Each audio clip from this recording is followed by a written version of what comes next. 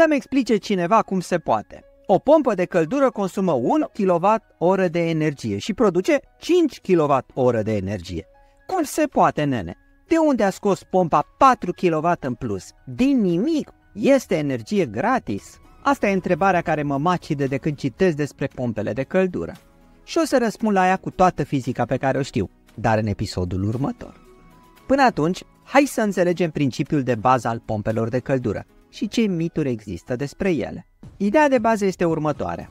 Pompa de căldură este un sistem electric ce extrage energia termică dintr-un loc cu temperatură mică, este aerul rece de afară, iarna, și o transferă într-un alt loc cu o temperatură mai mare, în apa din calorifere, de exemplu. Adică o ia dintr-un loc rece și o pune într-un loc cald. Asta este ceea ce pare contraintuitiv, că e pe invers cum ne așteptam.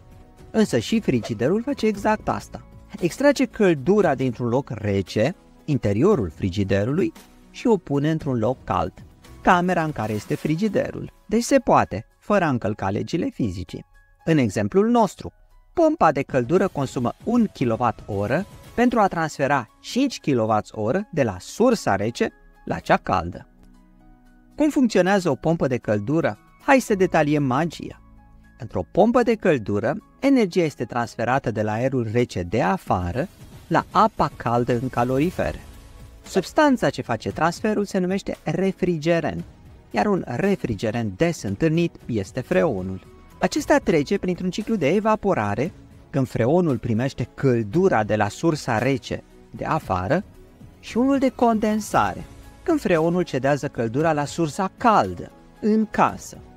Pe parcursul intern, freonul este împins în conducte de un compresor, așa cum inima pompează sânge prin corpul uman. Iată aici schematic o pompă de căldură într-o situație de iarnă.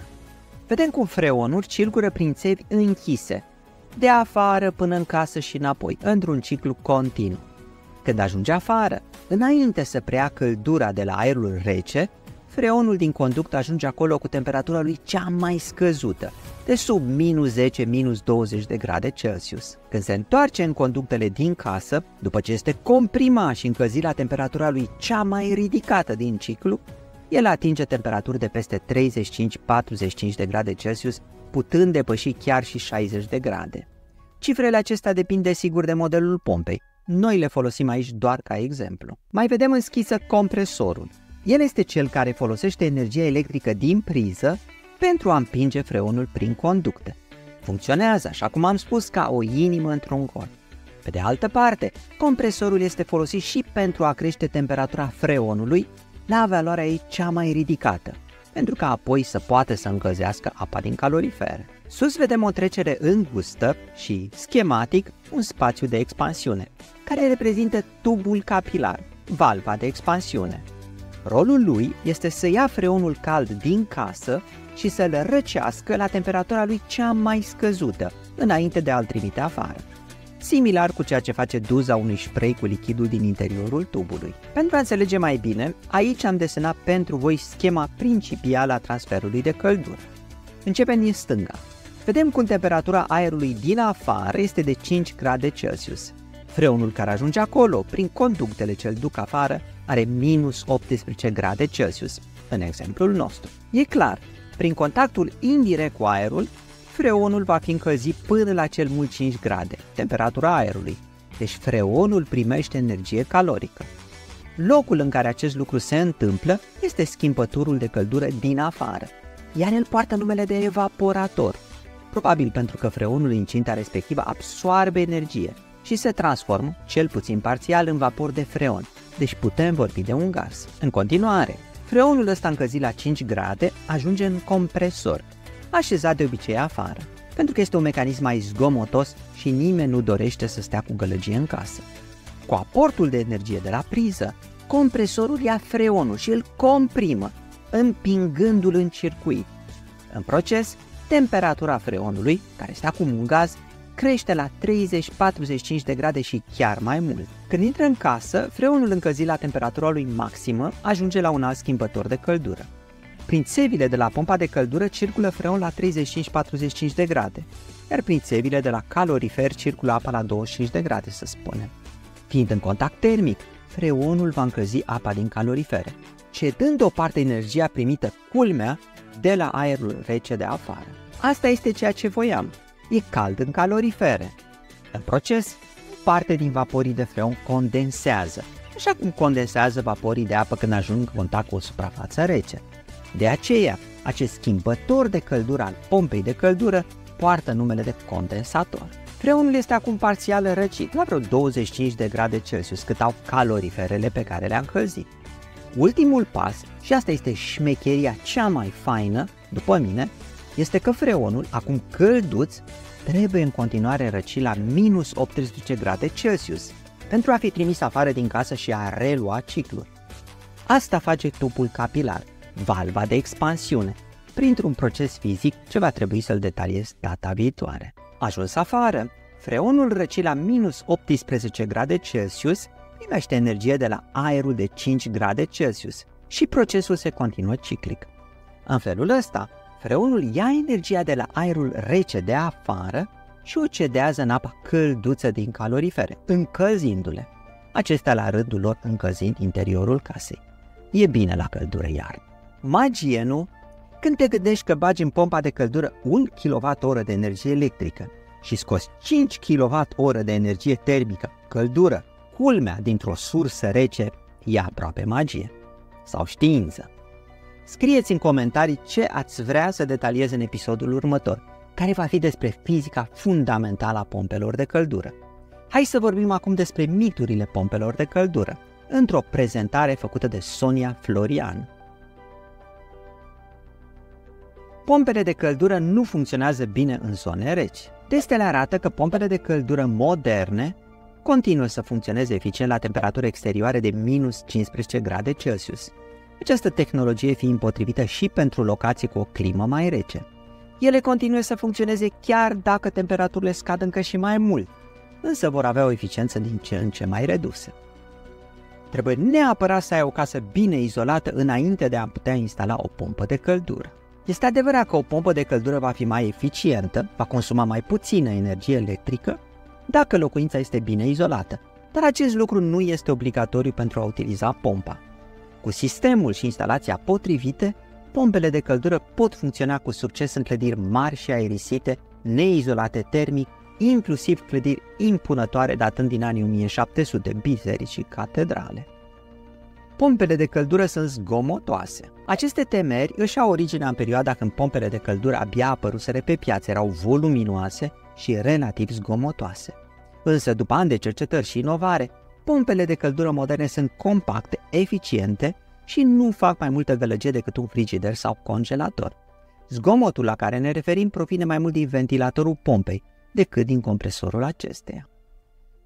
Pompele de căldură trebuie să funcționeze non-stop. Acest mit se poate să fie apărut dacă pompele erau subdimensionate sau în cazul montării unor pompe de căldură la clădiri neizolate termic. Atunci când se întâmplă așa, datorită pierdelor de căldură, e posibil să fie nevoie ca pompa de căldură să funcționeze tot timpul pentru a asigura nivelul de temperatură ales. Însă, în cazul clădirilor izolate termic, pompa de căldură va încălzi în prima fază tot spațiul, iar apoi va porni doar atunci când este nevoie, pentru a menține temperatura dorită. Pompele de căldură au nevoie de multă mentenanță. În realitate, chiar deloc. De fapt, tot ce trebuie să facem este să ne asigurăm că pompa de căldură rămâne curată și că fluxul de aer nu este obstrucționat.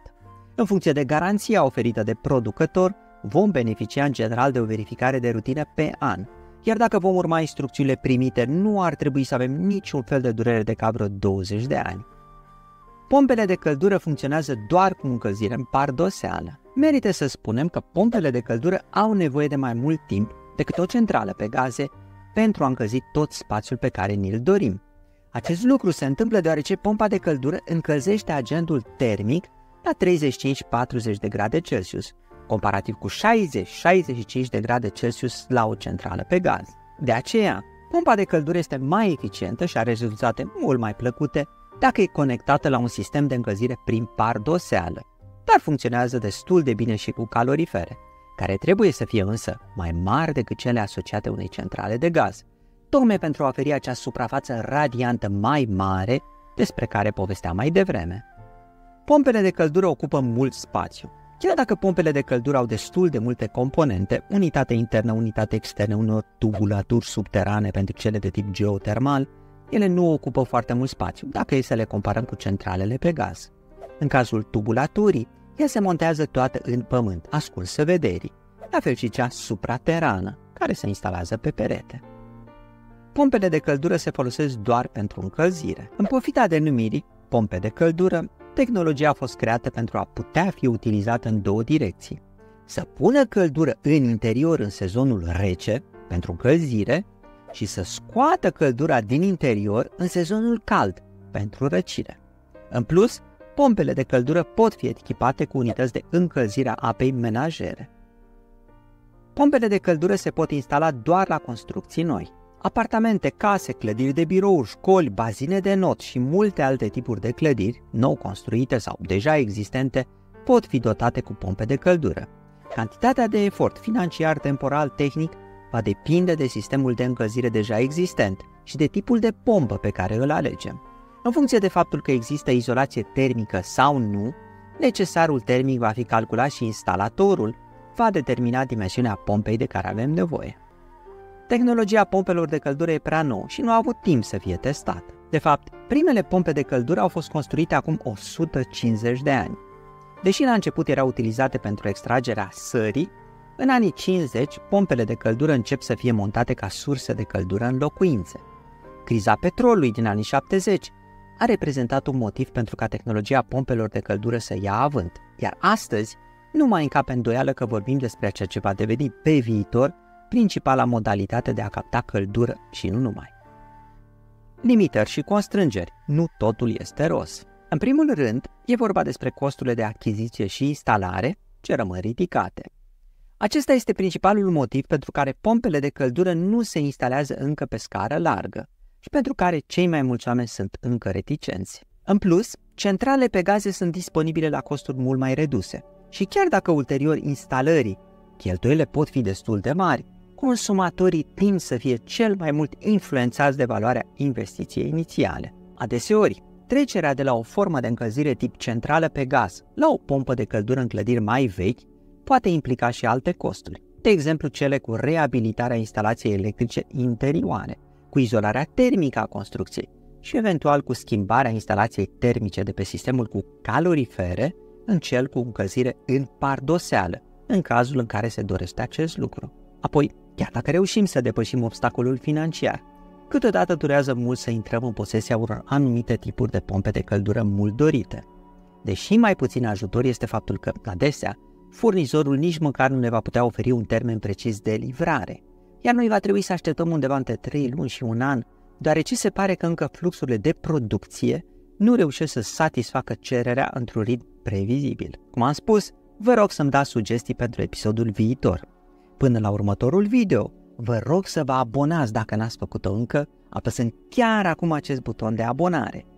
Cu ajutorul vostru, sper să trecem de limita a 200.000 de abonați în curând. Le mulțumesc celor care ne susțin pe Patreon și aici devenim membri ai canalului. Eu sunt Cristian Presură și vă doresc numai de bine. La revedere!